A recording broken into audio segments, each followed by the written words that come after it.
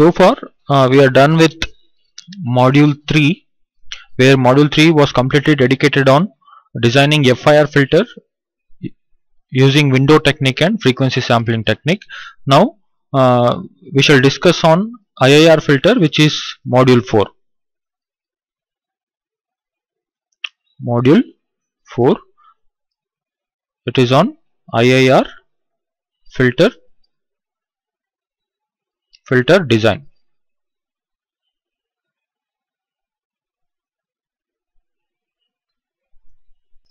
So basically IIR stands for infinite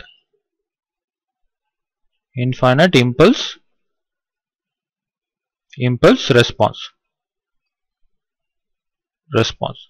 In FIR filter in FI in FIR filter so what was impulse response? H of n it was varying from where to where? It was varying from 0 to the order of the filter. 0 to n minus 1 right? Whereas in IIR filter IR filter the impulse response h of n is varying from minus infinity to plus infinity uh, for a non-causal for a causal it is 0 to infinity. So basically IR filter its uh, impulse response is infinite in length. Okay? Now we shall see how does a system function of an IR filter looks like. So before that we shall see difference equation. Later on that difference equation will convert it to system function. Now impulse infinite. Infinite impulse response.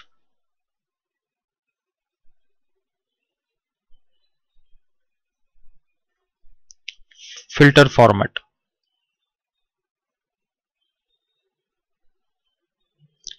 So an IR filter an IR filter is described by described by the difference equation difference equation of the form of the form it is something like this. Y of n is equal to output of an IIR system b naught x of n plus b1 x of n minus 1 plus dot dot dot plus b capital M x of n minus m minus a1 y of n minus 1 minus dot dot dot minus an y of n minus capital N. So this is the difference equation of a IIR system. Okay. Now what we do is we slightly modify this equation and convert this difference equation into system function. So for that what I'll do is I'll take this entire term into left hand side. Okay what happens? Y of n plus a1 y of n minus 1 plus dot dot dot plus a, a n y of n minus n. Okay. Let me write it in the next page. So y of n which was already there. Now I'll bring those uh, those terms to the left hand side plus a1 y of n minus 1 plus dot dot dot plus everything was minus. So now when I convert it when I take it to the left hand side I get plus. So an y of n minus n is equal to b naught x of n plus b1 x of n minus 1 plus dot dot dot plus b capital M x of n minus m. Right?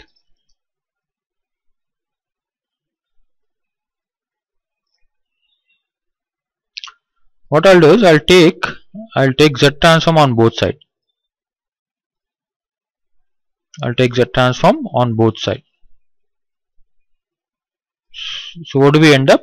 Z transform of y of n is y of z plus a1 because of time shift property z transform of y of n minus 1 is z power minus 1 y of z plus dot dot dot plus a n z power minus capital N y of z is equal to b naught x of z plus b1 z power minus 1 x of z plus dot dot dot plus bm z power minus m x of z. So I'll take y of z common in the left hand side and x of z common in the right hand side. So we end up with y of z into 1 plus a1 z power minus 1 plus dot dot dot plus an z power minus n is equal to I'll take x of z common in the right hand side x of z into b naught plus b1 z power minus 1 plus dot dot dot plus bm z power minus m. So I'll bring it in the form of y of z by x of z. So if I bring this x of z to this side and I'll take this term to the right hand side. What do I end up here? So this is numerator is b naught and what is this y of z by x of z? It is nothing but system function right? h of z right? This is our system function h of z. This is equal to b naught plus b1 z power minus 1 plus b2 z power minus 2 plus b3 z power minus 3 dot dot dot bm z power minus m divided by 1 plus a1 z power minus 1 plus a2 z power minus 2 dot dot dot a capital N z power minus n. So this is the system function of a IIR filter. So where where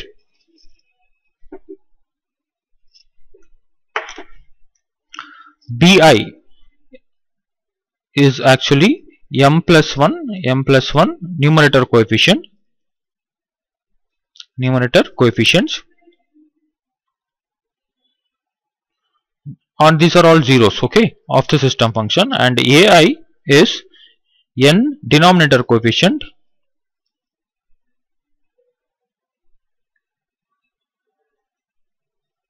And these are all actually poles. Fine. So this is the format of a infinite impulse response filter. Now we shall discuss bilinear bilinear transformation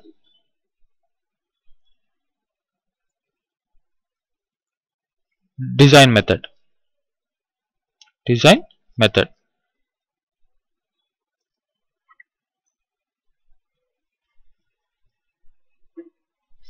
The thing is the way we used to design a digital FIR filter in the sense given a specification in the digital form we used to get the system function in digital form right?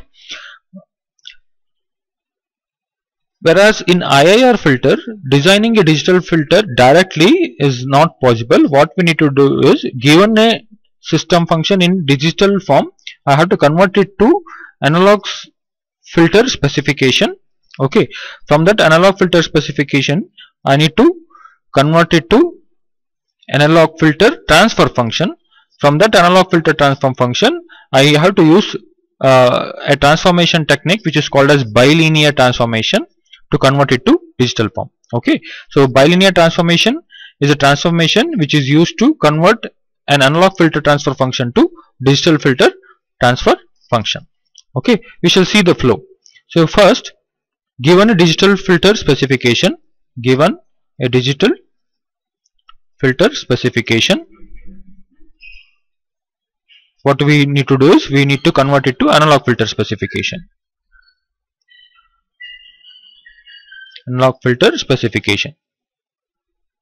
Using using transformation using transformation with with frequency warping with frequency warping W-A-R-P-I-N-G we shall see these things in detail while taking up uh, the design problem okay? Now once you get the analog filter specification I need to get analog I need to get analog filter transfer function transfer function h of s right? Analog filter is h of s digital filter is h of z okay? So I need to get analog filter transfer function h of s. So using using using transformation by by low pass low pass prototype prototype filter. So what is this prototype filter? It is nothing but normalized cutoff frequency which we shall see later okay? So I need to from analog filter specification I need to get analog filter transfer function by uh, using the transformation by low pass prototype filter okay? Now once you get the analog filter transfer function uh, I can get digital filter transfer function digital filter transfer function transfer function using using what? Bilinear transformation. Bilinear transformation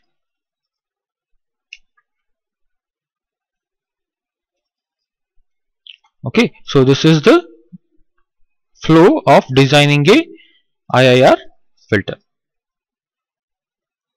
So let me repeat what's happening. I cannot design the digital filter from the digital filter specification directly. So I have to do some intermediate steps. What are those intermediate steps?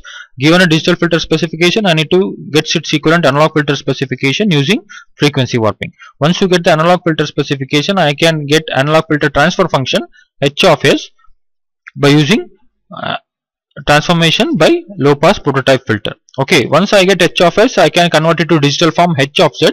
So this is H of S. I can convert its digital form H of Z using bilinear transformation. Okay. So this is the bilinear transformation design method. Now basically I cannot directly design a low pass filter. I cannot directly design a high pass filter. I cannot design directly design band pass or band reject filter. First what I need to do is I need to get the low pass prototype filter. From this low pass prototype filter I can convert it to uh, low pass filter for a given specification or high pass filter for a given specification. Band pass filter for a given specification or band stop filter for a given specification.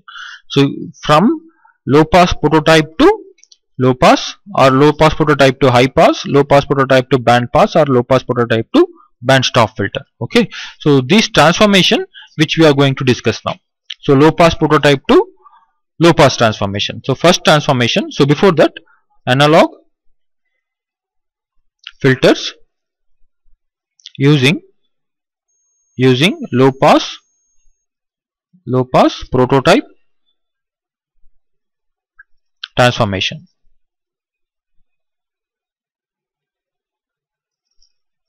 So prototype transformation.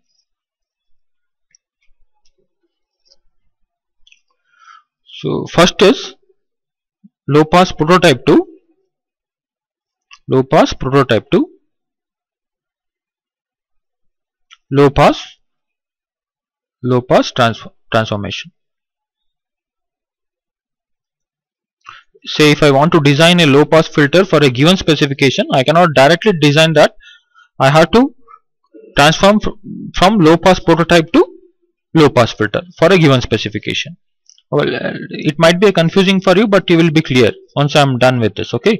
So you will be having a low pass prototype filter.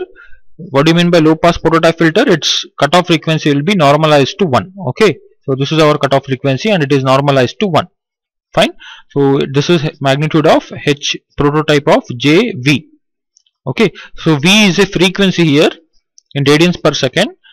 Uh, see why we have put v? Because it's a prototype. It's normalized uh, cutoff frequency cutoff frequency is normalized to 1 okay. That's why we are calling it as v. Okay. Basically v is a frequency. Fine. Now in that transfer function equation wherever s is there if i replace it by s by omega c where omega c is the cutoff frequency of a given specification i end up with a frequency response for a given specification for a given low pass specification so this is the frequency response with a cutoff frequency omega c 0. This is now omega and now this is our H low pass filter of j omega. This is the magnitude response of a low, low pass filter for a given specification. Okay.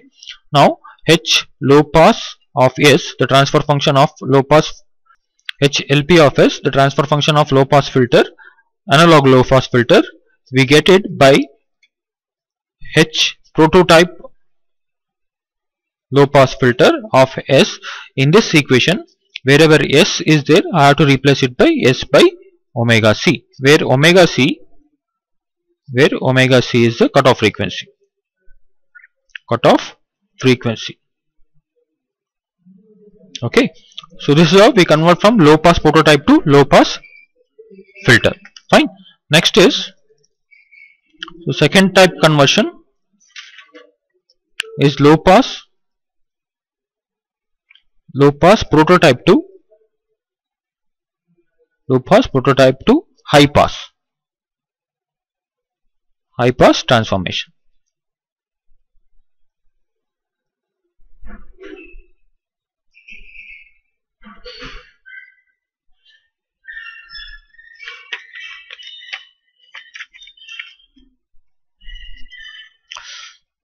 So again so we'll be having a low pass prototype where its cutoff frequency is normalized to 1 this is our normalized frequency v. This is h p of jv magnitude of hp of jv so in the in the transfer function wherever s is there i have to replace it by omega c by s.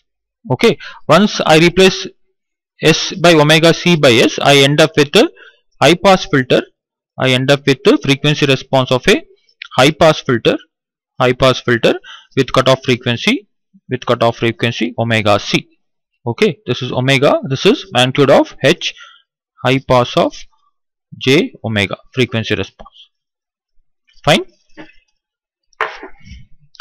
So in the given I mean I get high pass transfer function analog transfer function by using prototype transfer function by replacing s by omega c by s. Wherever s is there if I replace it by omega c by s where omega c is the cutoff frequency of the high pass filter. In the prototype equation I end up with high pass filters analog transformation. Okay? This is the low this is low pass to high pass transformation. So next is the third transformation low pass to low pass prototype 2 low pass prototype to band pass transformation. Band pass transformation.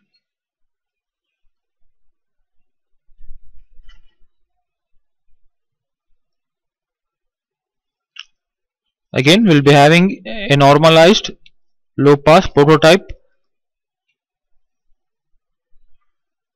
h of jv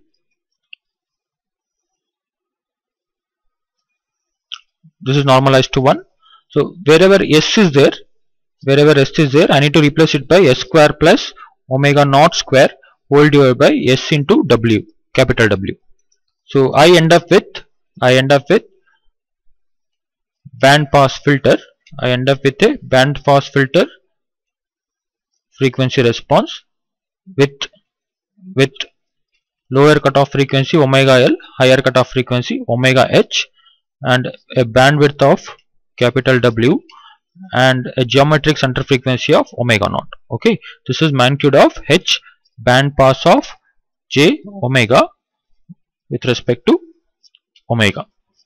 Fine? So where where omega naught is actually geometric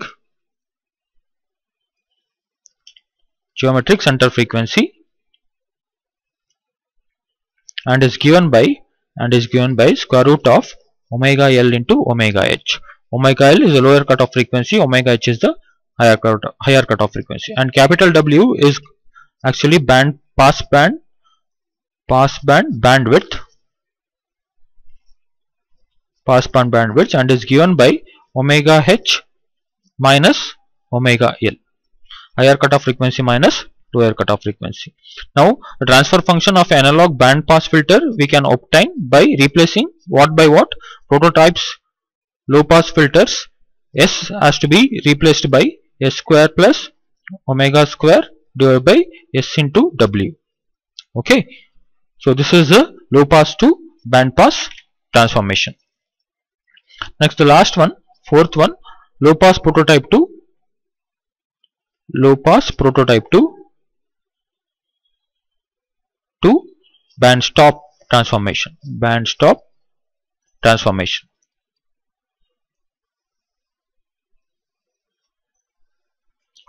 So, so again we'll be having a low pass normalized prototype